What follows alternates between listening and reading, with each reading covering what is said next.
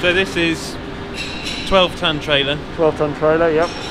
single ram, Single ram, yep. air brakes. air brakes.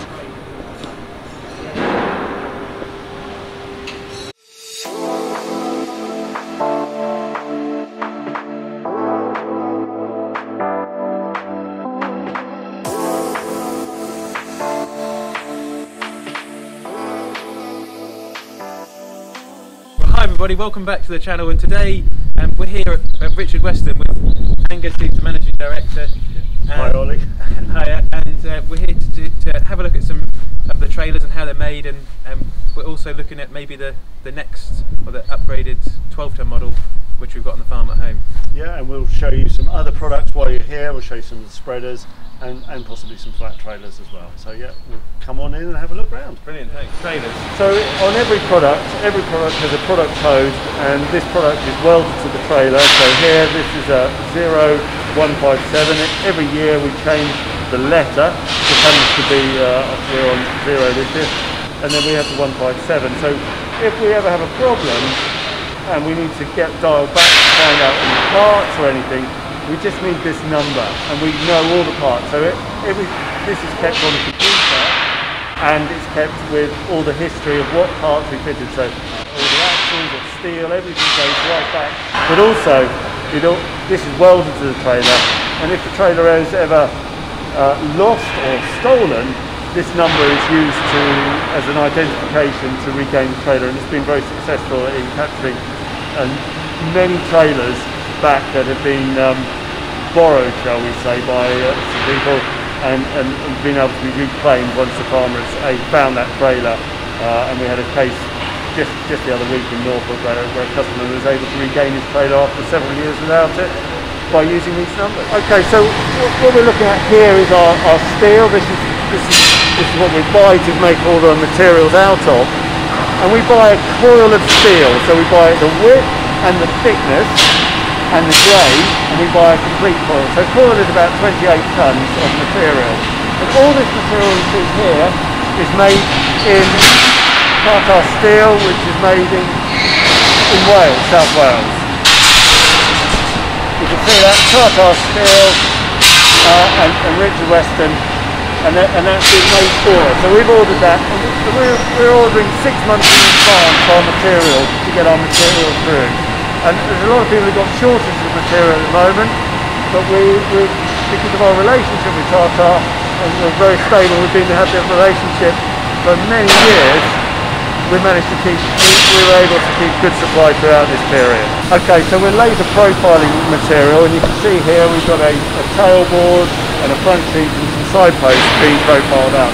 You can see the laser profiling operating here in action, and this is a piece of filing piece of 4 mil plate, and this is an 18 tonner sub-assembly front, back and side post.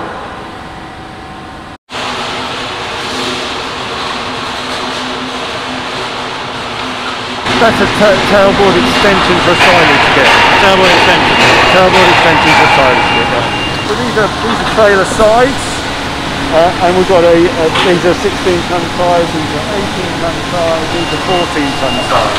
So they're all the different sides ready to go to the shop floor, and they've all got a, a little slot in here, and this is where we set up our, our posts. So we do a, a slot and tab situation for the post, and these are the top rails for the trailers down there. So we go around the corner. We're just laying out a, a side sheet ready for, for making another side sheet. So we'll have the, the post go on the. And we use a little tab and they go into the little holes so everything goes into the right place.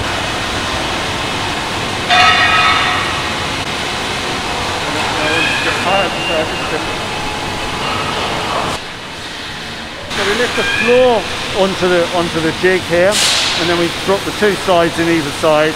We put the front on, and then we fully weld that up on the outside of the, of the thing. And that, that's how we end up with a body, a trailer body.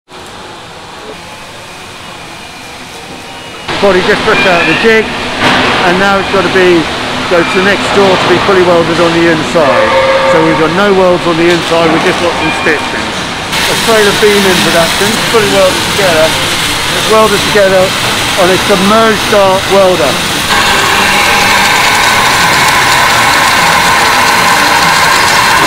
So that's a, a, weld from the submerged arc welder. So here we have a, a chassis jig and we've got the two beams that are welded here. Uh, and then we've got cross members which have been put together on a, robotic welder both ways. So all the welds are done on the flat. And we're just setting up here with the um, spring hangers at the moment before it goes through the welding process.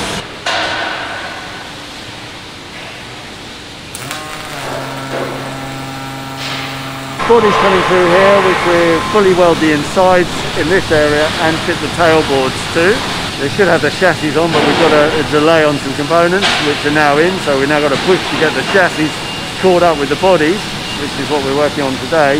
Once they're finished in here, we sign them off from fabrication, we do the final inspection, uh, and then they're signed over to the finishing area.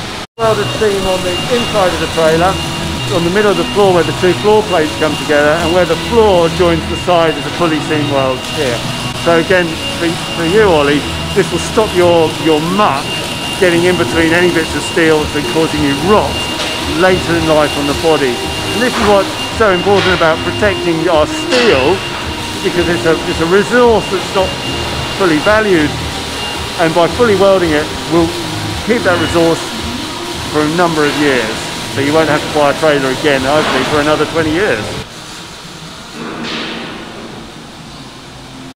Assemble the tailboards, so all the tailboards go on a jig and fixture, again rotating backwards and forwards, so the assembly is always the same. And then we've got a tailboard going onto the back of this fixture, which is like the back of a trailer, where we put the two arms on. What this means is if you ever need a spare tailboard, they're all the same.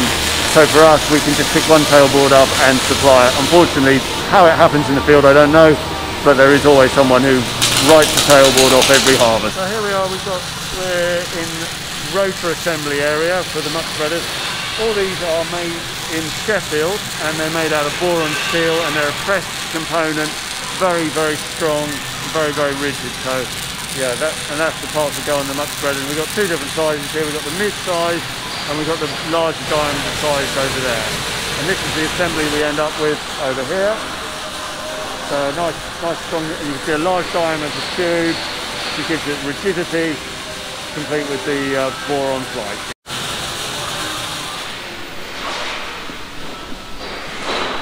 Okay, we're taking a, a, completed fabrication from the fabrication strip to a, a, finished item in this shop. So during here we're, we're going to look at the shop blasting process, the painting process and then the final assembly process. So while we're here we'll just have a look at a completed muck spreader assembly. So this is again ready to go through to paint and that's what it looks like. Again, once you've got the teeth on here, you've got a very small area for material to pass through, so it's got a high shredding capacity for the manure. And that's what they look like once, once they've had the shop blasted, painted, and all assembled, ready to go on the back of the muck spreader. So in, in this room here, it, it's everything is shop blasted. So what we're doing is we're taking a hose, we're dropping grit into the into the airline and blasting the material. We'll just walk up and have a look at this. What we end up with is an absolutely dead clean surface but also a surface which looks like that under a microscope. So it's about a 40 micron dent in the material and what we're looking for is paint surface area. So by putting lots of little dents in it, you're giving your paint a lot of area chances to stick to something. So everything's painted in these three booths here. So these are spray bakes. So we put a, we, we take it up to temperature up to 30 Celsius. Everything's held at 30 Celsius. Doesn't matter if it, whatever time of year it is um, and the paint is heated to a, to a so we're dealing with constant temperature and uh, of paint and everything else. Uh, and this is where we apply the primer uh, and then we put a bake process on and then we apply a top coat which is also a bake process. And both of these are two pack paints so we get a nice solid fixture. Once they're painted uh, we can work on it almost straight away so this trailer would have been probably painted this morning and literally we're starting fitting straight away. So the paint is, is a chemical reaction so it's solid ready to be worked on. It's not like something needs to several weeks before it's fully dried. Some of the detail, we uh, don't paint where the wheel rim sits onto the hub because obviously that when you ever take a wheel off you never get any um, any paint there, it's bare metal. And, and so to stop wheels getting loose initially when, when the trailer is applied, we protect that area from when we're painting it. So this is 12 ton trailer, 12 ton trailer, yep. single ram, Single ram, yep. air brakes, air brakes. and it's I guess the upgraded version or the modern day version of mine, like you said. It is exactly yeah, the modern day version of what you what you had, Ollie. Uh, the, the, the size is is the length and the depth is the same, um, and it's just you know since the '96 there's been you can see the different changes that's happened in the of, of, of where we've gone with the trailers over those years. So we, we we're always looking for feedback from our customers and our users, and, and putting those into into the design and the, the product has evolved to, to where it is from what you had and, and to where it is today.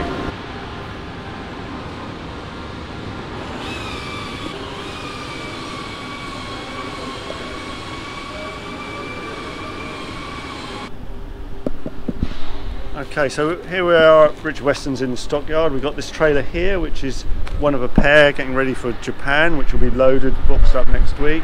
And this has got a complete uh, lift-off silage kit. So you just you can see there's two little tine holes at the top. You can pick the whole lot off in one go, and it's just held on with ratchet straps.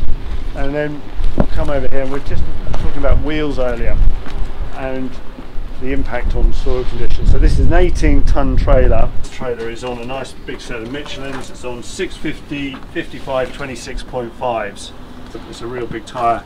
And then we've got a tyre here which is the 560 60 22.5 and I, I, don't know if you can get the get the standing back and the difference in the in the two two wheels and what the impact is on the on the on your soil in that respect. Yeah, because I've got we were speaking earlier the super singles on my 12 tonner. Yeah. And it's in the winter. A lot of people have been commenting. Everyone's been saying it, it does compact in a bit, which it does. It will do, yeah. And yeah, I mean the next time around it'd be nice to look at something with some wider wheels. Yeah. So the wider wheels on a on a 12 tonner now would be would, would be that 560. 560. Which also suits a 14 tonner very well. And then when you go to the 18 tonner, you really need to look at probably the bigger bigger set of wheels. Uh, a, a, a, 560 on an 18 tonner is like having a super single on a 12 tonner. So it, right. it's you know, but there but there is a big cost implication to these big wheels. But much easier to tow, larger diameter, easier rolling.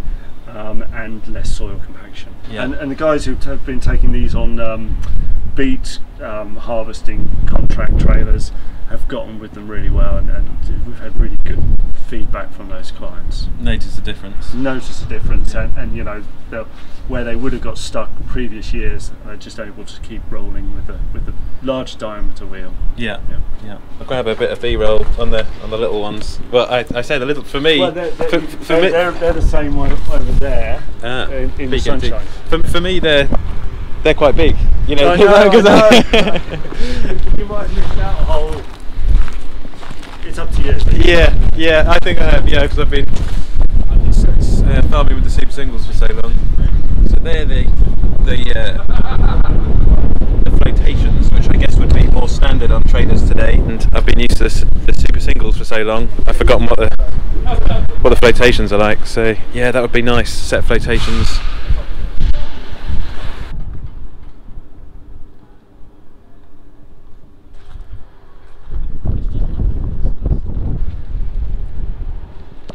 Something I just wanted to ask you, Angus, was on my 12 tonner at home. Yep. It's got the twin rams. Yes. And I noticed on the 12 tonner in there, you've gone to single ram. Yeah, we've gone to single ram, and uh, there was a number of factors why we chose to go to a single ram from from the twin ram.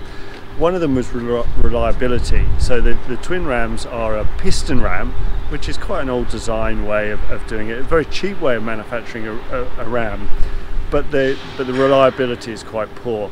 And we moved to a displacement cylinder, uh, and that is a much more reliable and it's a higher duty cycle ram. So it's what you'd find on a, on a, a tipping truck. Um, you wouldn't find a piston cylinder in, in a road haulage situation or people who are doing a high duty.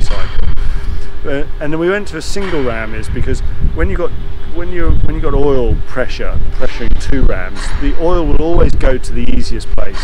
So occasionally you'll find a load will get let go on one half side of a truck, especially if they've been loaded by a tip toe bucket where they're, they're tipping into one side and maybe compacting one side, especially in the compost sector or the muck sector. And you might find one load would, would let go from one side. And then you find the oil for that tipping into a twin ram trailer would always go to the easiest place. So you'll start to actually trying to push the trailer over. Um, and so it was a safety feature uh, and also a, uh, a reliability feature and they were the main reasons that drove us to go down that right. It was also the speed of tipping. So when you've got oil going through a number of uh, pathways to get to, it slows down. So every time something goes around a corner, be it fluid or whatever, it's slowing the oil down. And we use a three-quarter tip hose from the tractor all the way to the to the ram and it's only got one place to go. And we find that the, the, the trailer has a quicker cycle time from going up to down.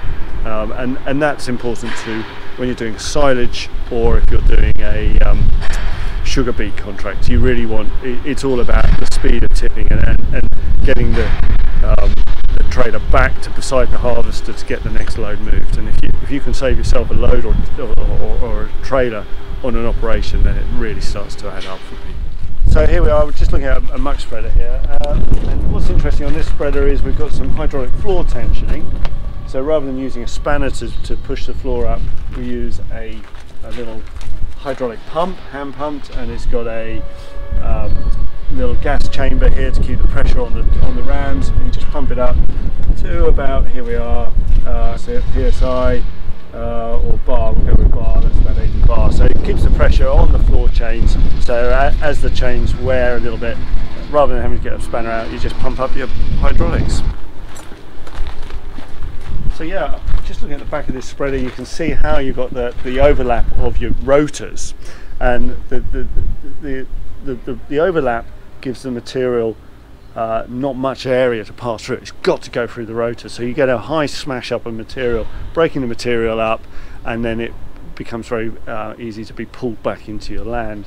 We also see that the, the, the, blades are not in line, so they're curved, so that you're not getting all your blades coming around as one point and impacting continuously. You've got an on, you've got a more, uh, what can I say, continuous load on the rotors. And then we're on the floor chain, you've got one big floor stack going across and then we've got a 7-2 floor sprocket so you're spreading your wear over and you're getting a lot more wrap around the chain and we've got the slats very closely spaced so they're only five chain links spacing. It's a very nice muck spreader Angus. Who knows, maybe one day but focus on a on a trailer for now. So yeah, we, have got some flatbed bed trailers. We manufacture flatbed trailers very similar in a way to the Suffolk trailers. So we use uh, a floor piece and a full length of the trailer, no welds across it. Helps to keep it very flat. So rather, every time you weld a plate, you're, you're more likely to pull. And then it has the big U channels underneath it, which we mount the axles directly to. Uh, fully welded down the seam, fully welded all the way round, um, and trying to remove any areas where we can get ingress of material into the trailer. Uh, nice big heavy sections for the ladders, gives us plenty of strength, headboard, and again using the same sprung drawbar as, as on the Suffolk trailer. Probably best to have a look underneath it, Ollie. All, uh, yeah. So under underside you can see a full depth U channel. The uh, bearers they go right through, so the, the, the bearers the U channels are shaped for the bearers to pass right underneath the trailer, and then you can see just under here we've got a little hook you hook your ratchet strap under there, when you go around to the other side, it hasn't fallen off, which is, yeah. but this one has got the addition of some rope hooks as well. Well, um, I hope you guys have enjoyed coming around today to Richard Western. Um, thanks so much, Angus, for letting us come around. And it's an absolute pleasure, Ollie. Uh, uh, uh, we run an open open door policy here, so you know if you're if you're a Richard Western client or if you're thinking about changing your trailer, know, people just rock up and we, and we, we have an open door policy. We've got nothing to hide uh, and we're proud of what we do and, and, we really enjoy showing people our products and, and getting them into, you know, uh, and finding people who, who, who, take as much care and pride about what we do and, and, and value what we do. And that, that's the key thing, finding clients who value what we do. it's been great, and hopefully in the future we'll have a look at uh, the, the next model up from our trailer. Oh, that would be fantastic. Yeah. Um, we were just talking about the ejector trailer potentially having a having a, a demo tryout of that over the biomass business. Yeah, we, we, we can, we can, we can uh, help you with some product to run more, more of your uh, video.